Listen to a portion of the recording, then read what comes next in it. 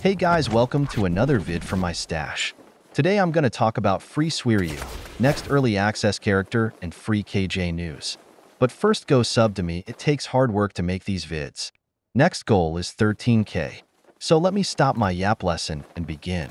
So the owner of TSB posted 6 leaks in the server. Let me show you the first one.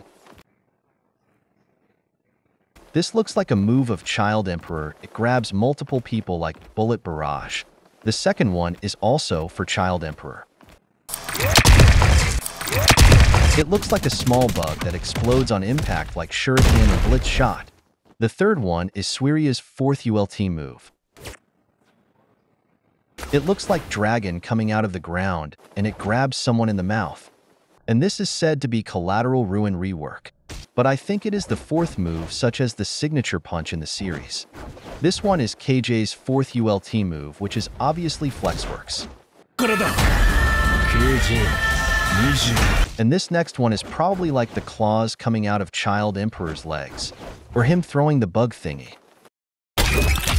And the owner also said that Suiryu will be free this update. And the new character, which is Child Emperor, will release with three moves. The update will most probably release this weekend or the next. That's all, guys. Goodbye. Sub, please. Joe Mama clapping cheeks.